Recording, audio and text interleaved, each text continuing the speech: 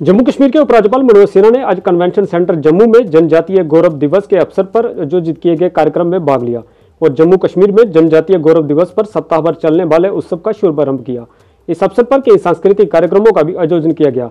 उपराज्यपाल मनोज सिन्हा ने जनजातीय समागम को संबोधित करते हुए कहा कि वह जम्मू और कश्मीर केंद्र शासित प्रदेश के विकास में आदिवासी समुदाय के महत्वपूर्ण भूमिका के योगदान को पहचानते हैं। उन्होंने कहा कि जनजातीय लोगों के सपनों को पूरा करने के लिए माननीय प्रधानमंत्री नरेंद्र मोदी के नेतृत्व वाली केंद्र सरकार द्वारा कई प्रयास किए गए हैं। उपराज्यपाल ने कहा कि मैं लोगों से आग्रह करना चाहता हूँ कि आरक्षण के लिए लोगों को भड़काने वालों के झांसे में न आए। और माननीय गृह मंत्री ने आश्वासन दिया है कि गुजरों और अन्य समुदाय के हितों की रक्षा की जाएगी और उनके कोटे से एक प्रतिशत भी आरक्षण में कमी नहीं होगी।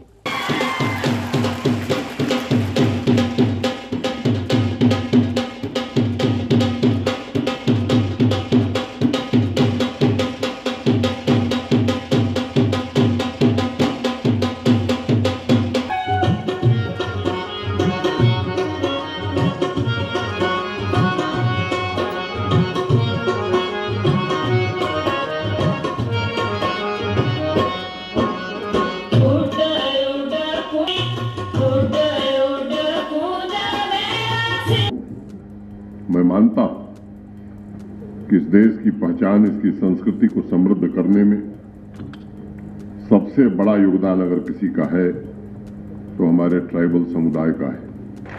आज आज़ादी के बाद देश के अनेक भागों में आदिवासी समुदाय को विकास की मुख्य धारा से जोड़ने के लिए अनेक काम प्रारंभ हुए। किन्हीं कारणों से जम्मू कश्मीर के आदिवासी भाई बहन जिसके हकदार थे, उन्हें काफ़ी इंतज़ार करना पड़ा।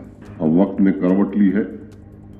आदरणीय प्रधानमंत्री जी के नेतृत्व में आज आदिवासी समुदाय के जल, जंगल और ज़मीन पर अधिकार, उनकी पहचान, उनकी संस्कृति, अस्तित्व, अस्मिता और आत्मसम्मान की व्यापक जन जागृति पूरे देश के कोने कोने में हो रही है।